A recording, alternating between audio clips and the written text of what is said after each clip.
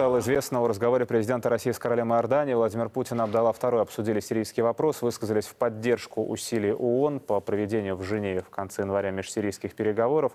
Владимир Путин и король Иордании в разговоре подчеркнули необходимость скорейшей консолидации действий всех заинтересованных стран в противостоянии ИГИЛ, сообщает пресс-служба Кремля.